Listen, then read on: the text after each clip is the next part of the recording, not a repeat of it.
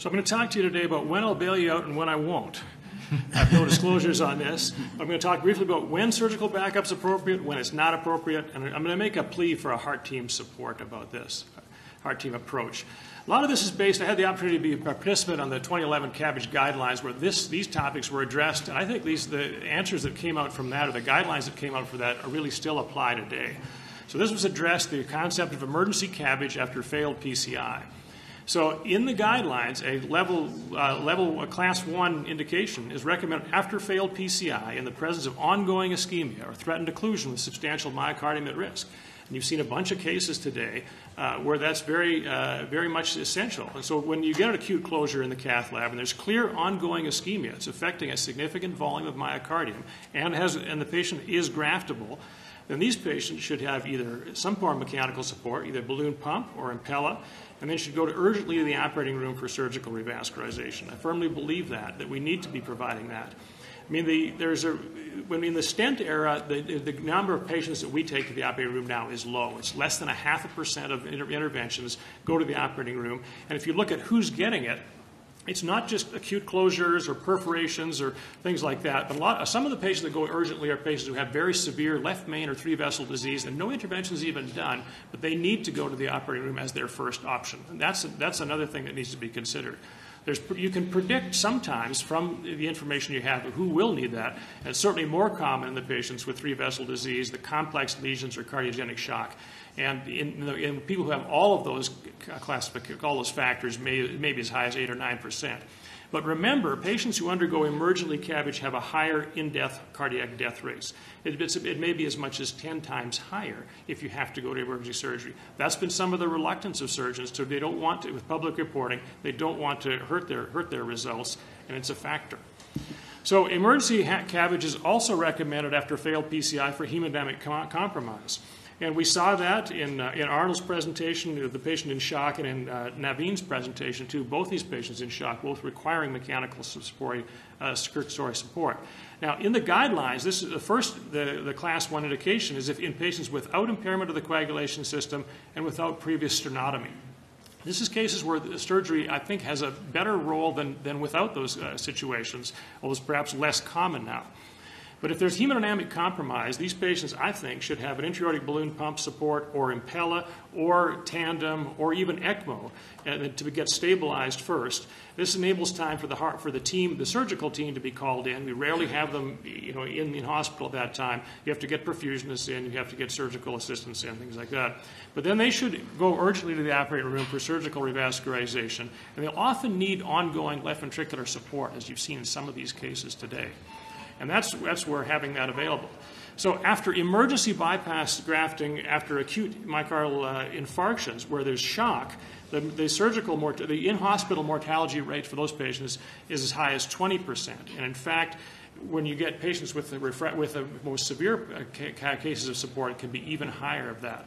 You also are taking risk in these patients. The vast majority will need transfusion, and there's a much higher incidence of renal failure, much higher incidence of stroke or neurologic compromise in these patients. And these are factors. Surgical teams think, think about these things a lot as they're moving forward on their decisions to provide support. Another uh, a class 2A indication is emergency CABG is reasonable after failed PCI for retrieval of a foreign body, like a fractured guide wire or a stent at a crucial anatomic location. I've only done one or two of these. They're pretty uncommon now, but you guys have got a lot more, uh, you know, toys that you're putting into the coronaries than I've ever seen before.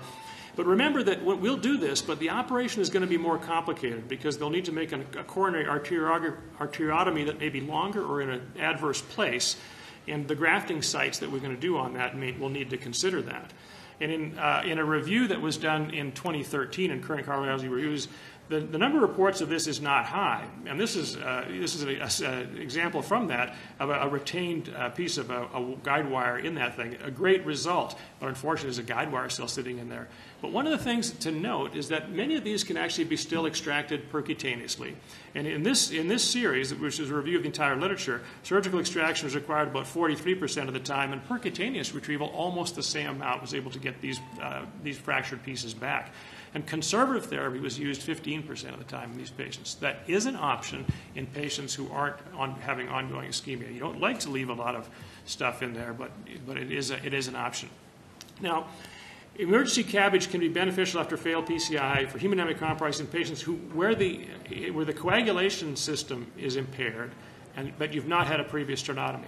So again, almost all these patients are getting lo- loaded with antiplatelet air, uh, um, agents, and so they, they're getting Plavix, Prasugrel, often Coumadin. You've seen today Angiomax in, in uh, um, uh, Mazen's presentation, uh, direct thrombin. People come in with all kinds of stuff, or maybe even recent thrombolytics. I trained in the era of the TAMI trials, the TIMI trials, where we were getting taking people to the operating room with this, and it wasn't pretty, but it still you could help a lot of people with that.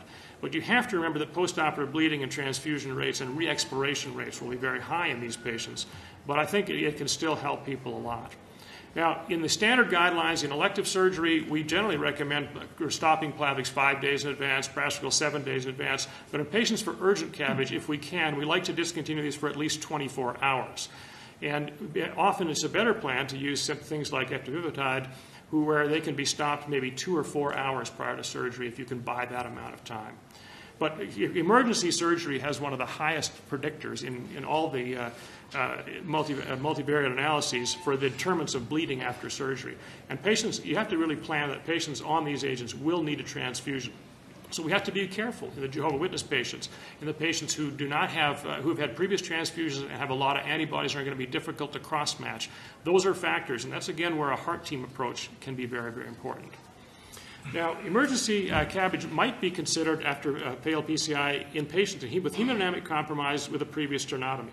So this is like the patients that Rajiv presented and Naveen presented today, or sorry, that uh, uh, Mauricio presented today, where they've had previous uh, coronary bypass surgery. Now, often the interventions are maybe done in the grafts, but there's, um, you, you know, but these are patients that are going to be at much higher risk and have additional challenges. There are, I've heard about a thousand different surgeons who have made the claim there are emergencies and there are redos, but there are no emergency redos. and I guess, and for me, it's there should be few emergency redos because the problems with emergency redos is that the time to achieving reperfusion will be longer, and as because of the dissections required, and as a result, the results will be poor. There's going to be a higher incidence of perioperative bleeding and transfusion, and the optimal conduits may already have been used also an open mammary, if it's not part of the, uh, of the problem, may be damaged during reentry. So there's a significantly higher risk in these patients. Now, in, in a, one recent study from the University of Pennsylvania, there was 160 patients who underwent urgent or emergent uh, CABG, and the total mortality in this group was, was 7%. But if you looked at the patients who were actually in shock, it was much higher than that, bordering on 40%. And so the elective redo CABG rate uh, over that time was only 3%. So these patients then pr- propose a real problem for surgical uh, investigators. Now, when can't you have backup? All right. Well, emergency CABG, again, from the guidelines, shouldn't be performed for failed PCI in the absence of ischemia or threatened occlusion. So if you don't have ongoing ischemia, no one's going to, I don't think anyone recommends that and no one would do it, but you shouldn't go to the uh, operating room in, in that setting. But more, a more important thing to consider is that it shouldn't be formed after failed PCI if the revascularization is impossible because of target anatomy or a no reflow state. So when patients have really severe anatomy that's just not going to be a, a, good result, we should do other options for them, It may be including hemodynamic support and considering them for advanced therapies if necessary. The no reflow uh, uh, phenomenon is an important one because surgical mortality in that, in that setting is over 50 percent and it's an uncommon thing. It can be sometimes a little difficult to define because the target vessel, you know, may still have residual disease in it. But it's a, the pathophysiology involves inflammation and uh, myocardial edema and intravascular thrombus or, or embolization from the uh, intervention. And operating in that situation will not help these patients and shouldn't be offered. You also can't have backup and this relates to uh, Arnold's case, if you're in a hospital that doesn't have CABG program. And so the case that he, that he presented uh, was first sent to a, such a place. And you know some of the early results of uh, percutaneous coronary interventions at centers without coronary bypass grafting suggested that there was significantly worse outcomes in patients in, operated in those centers. And that's from the JAMA article in, in 20, 2004, where in the, in the non, I think in, where most people would say that in an, an emergency or a STEMI population, it was a reasonable thing to do, but in the elective situation, the results were worse. But more recent uh, evaluations of this from uh, meta analysis of the data have now suggested that that is not necessarily the case. And uh, the results can be as good or not significantly different, even in the non salvage or the non emergency situations in hospitals that do PCI but do not provide surgical support. And you know the expert consensus that came out in, in 2012 shows that now, and this was by 2013, only in only one state was um, PCI without surgical backup uh, disallowed. And I think almost everywhere this is a this is a phenomenon that's across the country. But I think that the real thing that I want to try to emphasize is that I, am a very big believer that there should be a heart team approach to revascularization de- decisions. It's part of the guidelines as a class one indication that the heart team approach should be is recommended in patients with unprotected left main and complex disease. When, uh, in, when, when the syntax scores are available, they should be used to evaluate dissertation decisions and the heart team can decide in advance who is and who is not a candidate for an emergency CABG. And it can avoid controversy that comes up later on. It can reverse adverse outcomes. The Jehovah Witness patient, the patient that's very frail, the patient who does not, under any circumstances, want surgery, the patient with a limited life expectancy from other problems should be considered in that. You can also coordinate antiplatelet strategies. You can go to the operating room, use a, um, a product that can be re- reversed easier, making urgent surgery a more better option. And you can even make a decision to recommend CABG over PCI in, in patients with high syntax scores, for example, which may, uh, may benefit them in the long run. We have to also consider, as has been mentioned here, that public reporting is a big part of this. There's public reporting of CABG programs almost uniformly. 98% of surgical programs report to the STS database now. But now PCI programs report as well. And no one wants their results to, to look bad. But the HEART team can take an active interest in the results of both the PCI and the CABG programs, and the HEART team should really recommend the revascularization strategy that's in the best interest of all these patients. And surgeons should want excellent outcomes for their center's uh, PCI program, and they should provide backup to achieve these best results. And interventionalists should want excellent outcomes for their center's CABG program, and they should, survive, should strive to, to minimize salvage cases and to work to coordinate antiplatelet strategies and hemodynamic support options that are best for these high risk patients. And these collaborative efforts should encompass more than just the PCI and CABG programs, but should include team based strategies for surgical support of structural heart disease, and although that's not a topic here.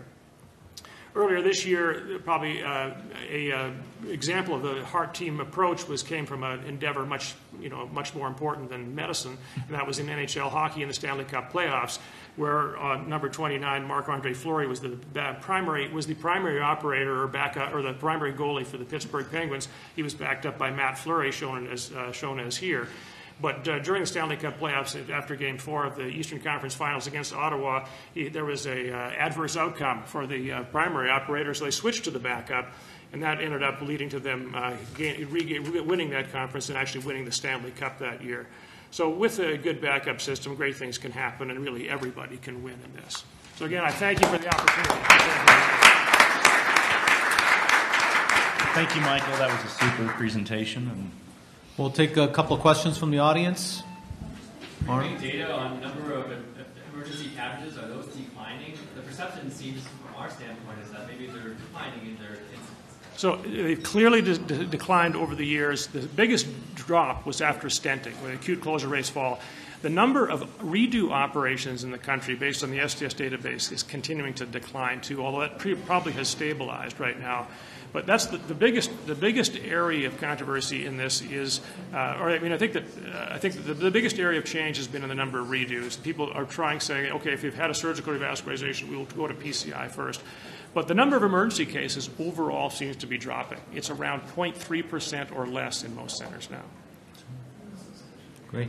And I think uh, my other uh, maybe final comment or question is the left main multivessel disease, the heart team approach uh, at, at, your institution? Are those patients being routinely taken off the table and, and presented in a multidisciplinary format? We try, we, we try, we try to as much as possible. In a patient with an acute coronary syndrome, if he has, if he had trunk left main disease and, and ST segment changes, I tell them open that up.